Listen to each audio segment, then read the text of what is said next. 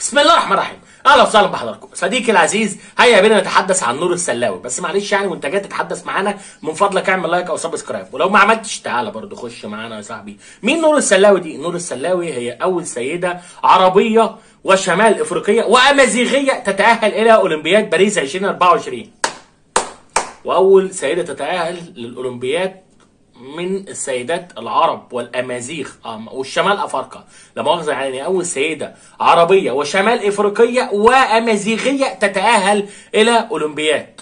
نعم صديقي العزيز وهي أول فارسة بالمغرب. طبعا يا صديقي القصة بتاعت نور سلاوي دي قصة جميلة جدا وأحلى حاجة فيها إن هي تحس فيها إن هي قصة صعود. بالظبط يا اسطى زي القصص كده بتاعت التنميه البشرية. نور كانت بتحلم طول عمرها إن هي تكون فارسة واشتغلت على الحلم بتاعها ده وربنا كرمها وشاركت بكأس العالم للخيول أو كأس العالم للفروسية بفرنسا. 2022 و2023 أول فارسة في المغرب أول فارسة تمثل المملكة المغربية والدولة العربية في هذه التظاهرة الأولمبية. عبرت عن فخرها بتمثيل المغرب في هذا الحدث الرياضي المرموق مبرزة إن هذه المشاركة تعد مناسبة لتحقيق حلم روادها منذ بدء شغفها برياضه الفروسية.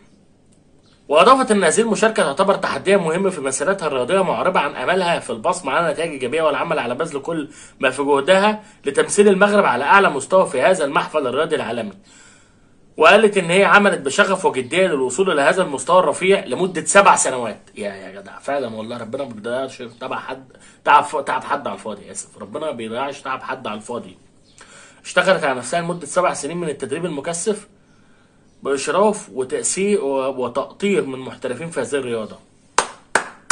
شابوه نور سلاوي. لا بجد شابوه نور سلاوي الفارسة المغربية.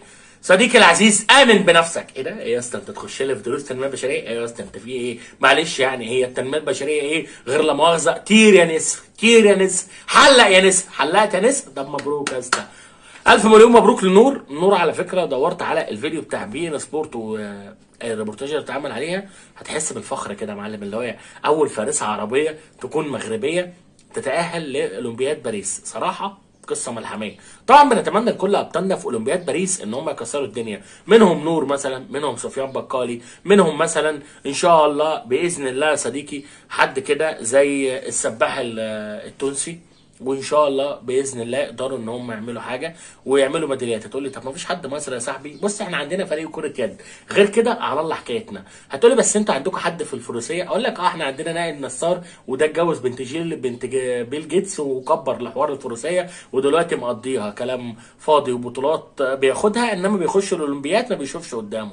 فعادي يا معلم. يعني مالناش دعوة إحنا بالحاجات دي. ولكن نتمنى التوفيق لكل الأبطال الأولمبيين وإن شاء الله بإذن الله نور تكون مثال كويس لتمثيل المرأة العربية في رياضة زي رياضة الفروسية. بالتوفيق نور. أنا ما أعرفش بصراحة هي أول امرأة أفريقية ولا لأ بس أنا اللي أعرفه إن هي أول امرأة عربية وشمال أفريقية وأمازيغية. معلش لازم نحط الكلام ده في الحسبان عشان في ناس بيزعلوا يقول لك أمازيغية. أمازيغية يا غالي أنت جيت في جمل. بالتوفيق لنور وبالتوفيق لكل أبطالنا تاني في أولمبياد باريس. إن شاء الله بإذن الله. آه على فكرة أنا فاكر اسم السباح التونسي أحمد الحفناوي وعارف كويس إن هو إن شاء الله بإذن الله يعشمنا كده في ميدالية ذهب. ميدالية ذهب أبو حميد لتونس إن شاء الله في السباحة وإن شاء الله نور ما تشاركش مشاركة مشرفة زي ما هي بتقول تقدر إن هي تعدي مراحل المشاركة المشرفة وإن شاء الله تكون بطلة في نهاية سباق الفروسية في أولمبياد باريس. قول يا رب يا صاحبي وبالتوفيق لنور وشابوه يا نور.